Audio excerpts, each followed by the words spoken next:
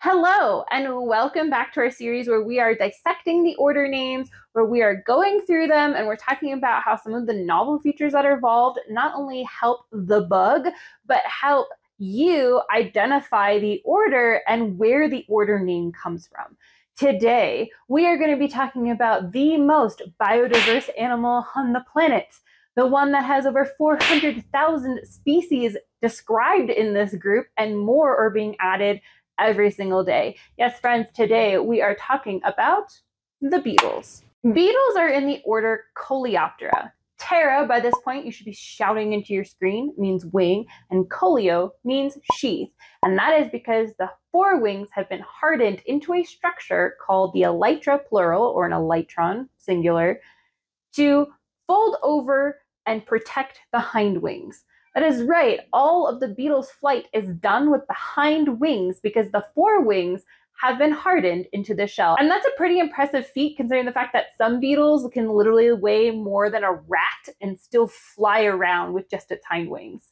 This elytra, this hardened forewing, has probably allowed beetles to become the most biodiverse. There are other insects as well that protect their hind wings with a hardened forewing, but none of them do them to the extent that the beetles do.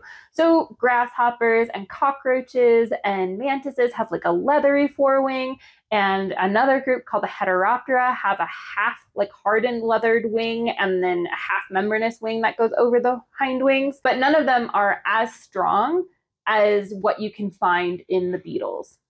And both of those things that I just talked about we'll save for a different video. This shell is so important and probably helps beetles be the most biodiverse group.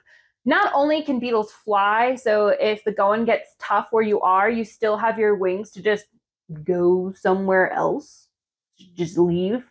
Goodbye, friends.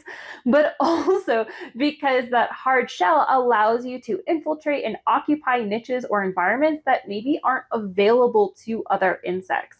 For example, beetles can get underground, they can get in logs, they can get under leaf litter, and that's because that hard shell helps protect those delicate hind wings and helps protect the body. So you can wiggle into these really tight, difficult environments to live in. It also explains why you can find beetles in some of the harshest environments like deserts, right? That shell helps protect you from water loss. There's even an example of a beetle that can condense the water from the air onto its shell and just drink that and that allows it to be able to live in the desert where there's almost no water. Hardened forewing is great for you for like protecting you and your assets and lets you occupy all these new environments. However, it is a little awkward when you have to fly since they are the forewing the the beetle shell, the elytra, do flap, and that's just the way that beetles fly in general. Which, if you're interested in insect flight in general and the different kinds, we can talk about that in another video. But just for now, the beetle, when it flies, the the elytra also flap.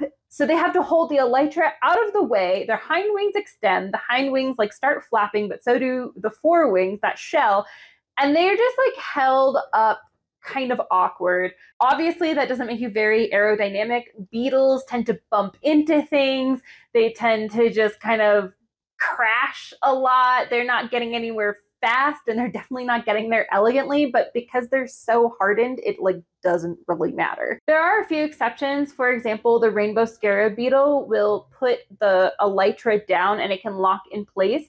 And these are usually reserved for beetles that have to fly long distances or flight is really important to their biology, more so than just like, oh, life kind of is crappy here or I need to find a mate, go somewhere else slightly further away. Because beetles are so biodiverse, of course, you can find beetles that have lost their wings entirely. The elytra has been lost or significantly reduced, like in the staphylinids, the rove beetles, or you can find beetles where the elytra is just slightly softer than some of your big armored tanks. So, for example, soldier beetles or fireflies are also beetles, but their elytra is very soft.